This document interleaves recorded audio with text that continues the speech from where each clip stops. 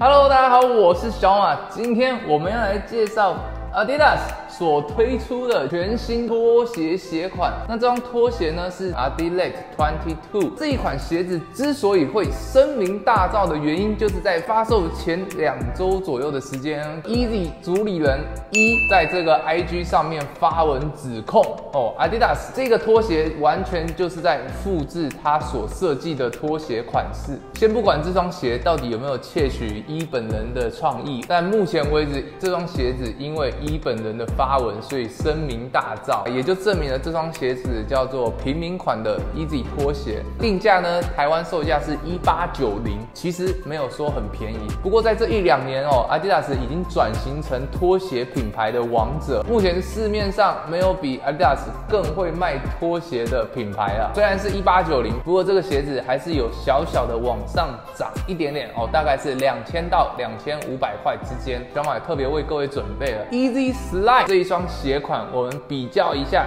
到底两双鞋子像不像？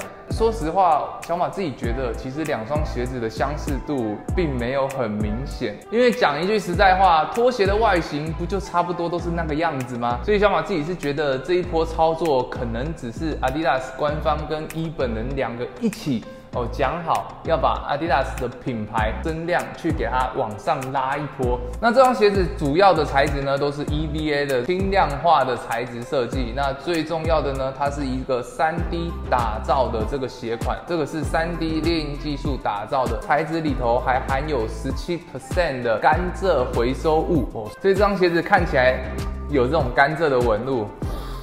不过没有甘蔗的味道。那其实这双鞋子啊，也是打造出一个比较科技感、比较未来感的拖鞋。那你看它侧边的这一个有点像等高线的设计图案，其实还蛮有特色的。侧边也印上了 Adidas 的 logo 字体，The brand with the three stripes，也就是三条线的品牌的英文 logo。这双拖鞋它的 logo 是印上了三叶草的图案。那在 Easy 拖鞋上面印上的是 Performance 的图案，然后三条杠。其实来讲，两个是不同支线的，呃，完全是不会有抄袭的嫌疑。而且 Easy Style 拖鞋最大的特色应该是这个锯齿状的大底，但我们可以看到这双拖鞋。哦，完全就没有这样子的一个风格，而且这个鞋款跟 Easy 最大的差别就是 Easy 的拖鞋它是比较包脚，上面比较厚，比较窄，所以大部分的人都会去大一号的尺寸去购买。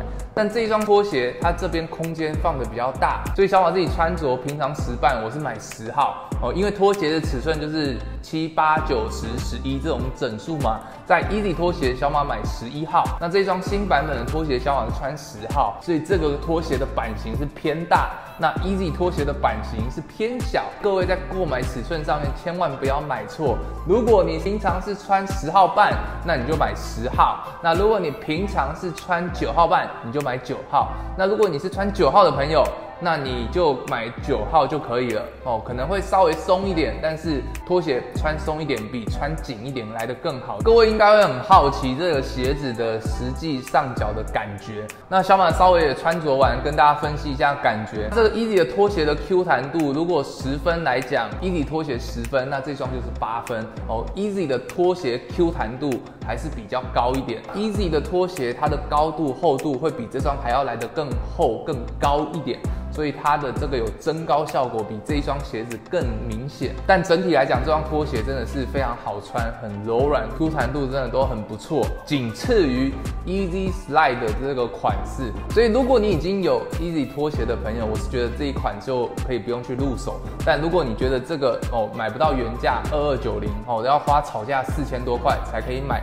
你可以去买这一双哦，两千元哦可以买到的平价款的 Easy 拖鞋哦。它颜色上面除了有这个奶油配色之外啊，还有第二个这个小马自己很喜欢的抹茶配色，然后还有一个黑色的颜色。那其实整体上来讲，它的颜色跟 Easy 拖鞋出过的颜色都非常类似啊。所以如果你想入手一双蛮有科技感拖鞋的朋友，这一款 Adidas Twenty Two。推荐给各位，还蛮好穿的一双鞋款。那各位觉得 Easy 的拖鞋跟新款的 Adidas 拖鞋两个到底像不像？有没有仿造 Easy 设计的嫌疑？在底下留言你们的看法。我是小马，喜欢我的影片记得帮我按赞、订阅跟分享。我们下次见，拜拜。